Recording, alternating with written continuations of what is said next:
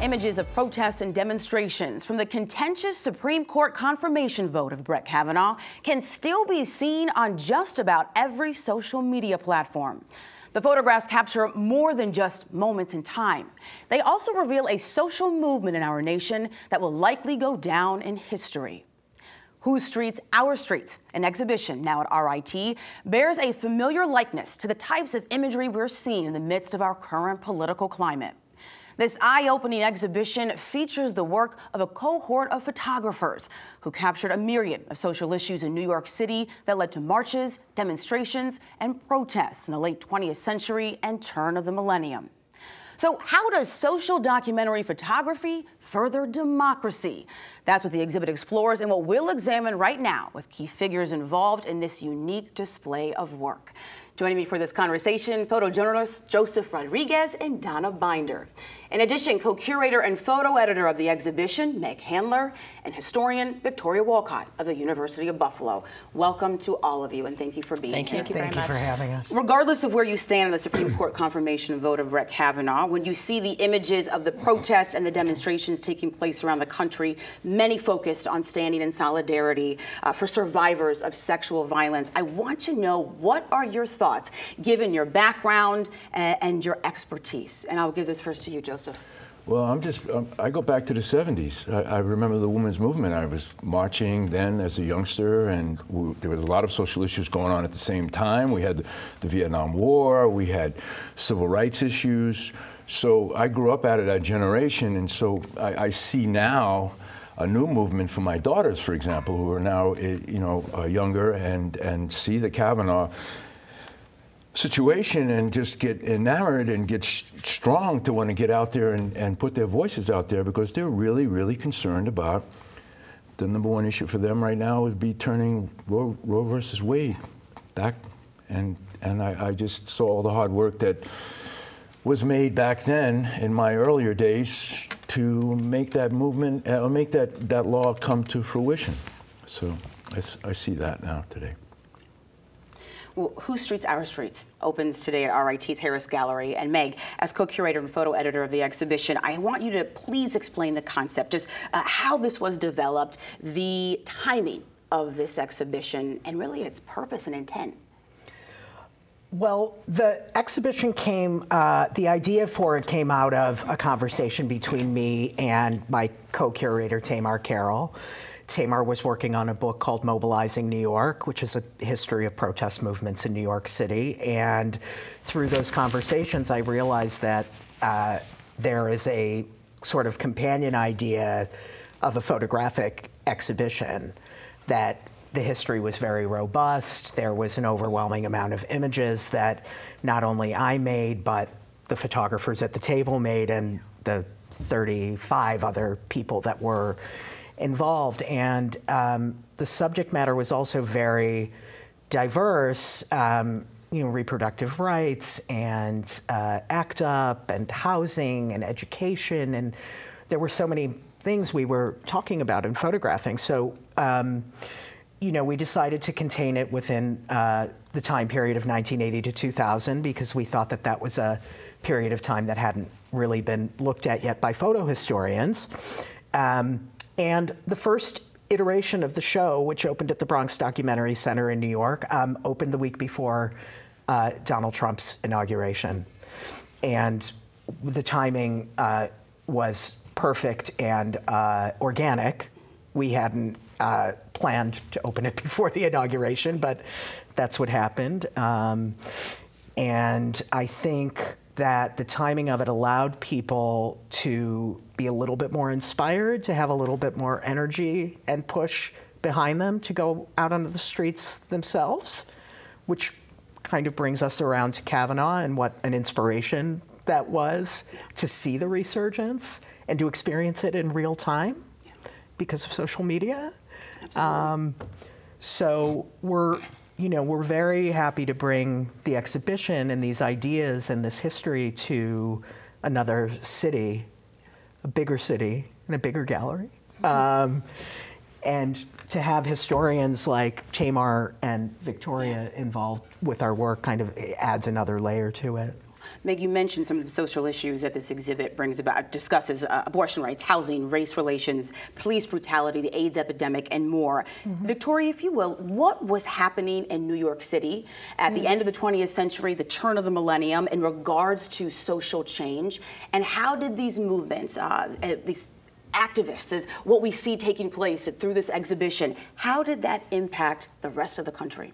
Uh, it's a great question. So one of the things that's so powerful about this exhibit and Tamar's work um, as well is that people think of the 80s and the early 90s as a period of conservatism, uh, sort of backlash against second wave feminism, backlash against the long civil rights movement. And there's certainly much to be said for that. And what's hidden though in that history are these multiple kind of interlinked protest movements, um, ACT UP and in response to the AIDS crisis, the reproductive rights movement as the Supreme Court becomes increasingly conservative um, when Reagan starts appointing justices. Uh, the housing struggles, you know, people are familiar with the musical Rent, for example, which documents some of those struggles. So this exhibit really brings that to life. Uh, and those movements were not just in New York City, not just in Manhattan, although that's where they're extremely visible. They were national and even international movements, if you think about the struggles in Central America and, and elsewhere. So it's a somewhat of a hidden history that's only now really being told. Joseph, Donna, and Meg, you two on the ground during this period of time. I want take us. I want to know what it was like. So I'm, I'm going to give this to you first, Donna.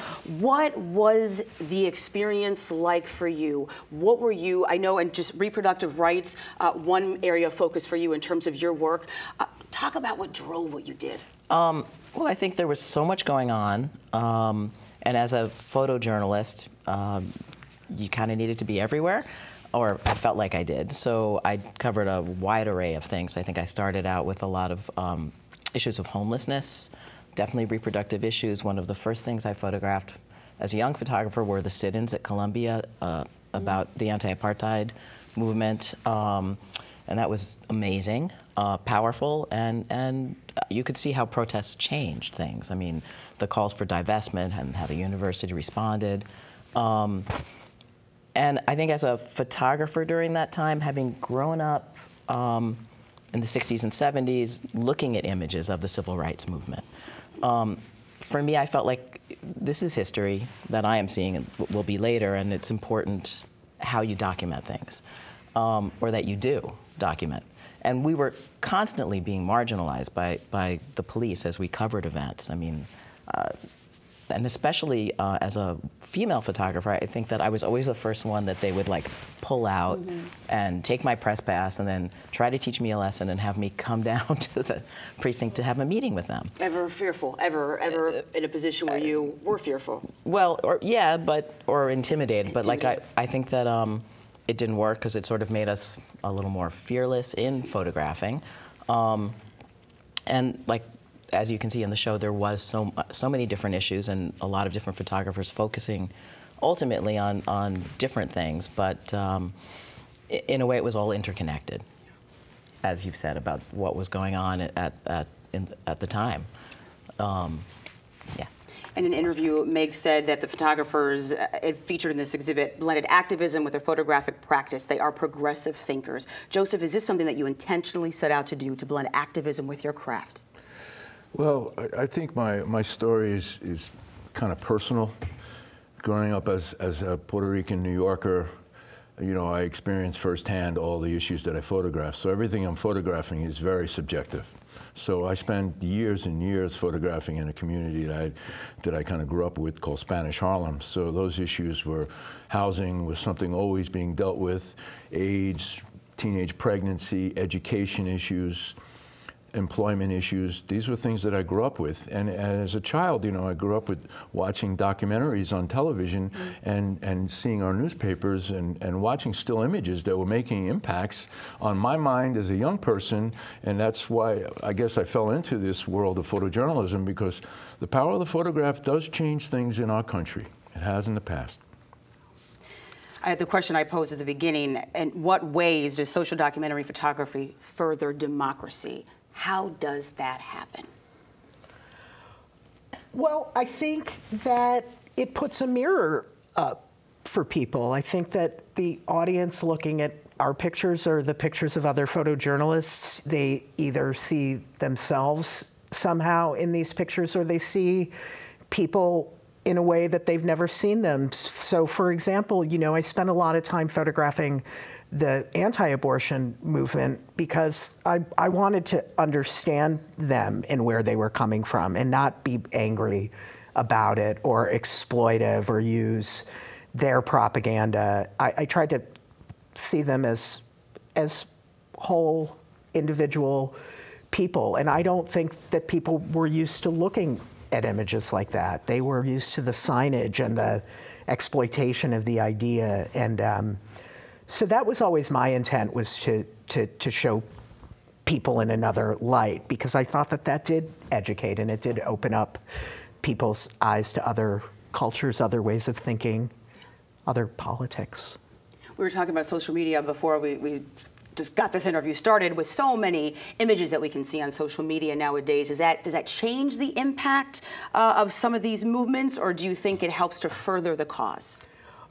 But I mean, I, I, I think both. I think the idea and the the Kavanaugh protests were a perfect example of being able to experience the resistance and the opposition in real time and to also see how the administration was responding to it and how all of these senators on the Judiciary Committee, was constant commentary, resistance, commentary, resistance. It was, was kind of amazing. Mm -hmm. Well, before we close, and we've got 30 seconds left, and I'm sorry to do this in such a short period of time, and Victoria, I'm giving this to you. Uh, how do you think an exhibit like this just can open minds and kind of further us in this in this time period that we're in right now? I think it can show the power of media, whichever kind of media you're talking about, um, to create real social change and also create a kind of radical empathy um, and to give dignity to the homeless, for example, or to somebody who's suffering from AIDS. Uh, that's what photography does. It gives that dig dignity and allows for empathy. Well, unfortunately, we are out of time. But a huge thank you to my guests for, for being here and joining me today. Do not miss this exhibition. Whose Streets, Our Streets is now in Rochester and opening today at RIT's Harris Gallery. The exhibition will run through November 2nd. For more information and gallery hours, go to whosestreets.photo.